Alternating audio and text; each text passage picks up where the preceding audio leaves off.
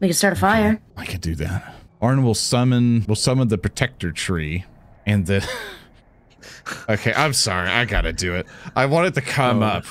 I'm gonna ruin Yeah. the mood. I'm sorry. I want to come up, and the protector tree has like a smiley face, and we're like, "Oh boy, it's so nice to see you!" And then he casts can't wait produce to flame. protect you. like, I want to protect you. Ah! and then it just burns. oh god! And then and then Defend me Oran, with your who's like, heat. Who's scared and sad, kind of sits in front of the tree and go, "You're right. I have fire." Ah, I didn't mean to protect you like that. Oh, how do I? Why do I feel pain? Oh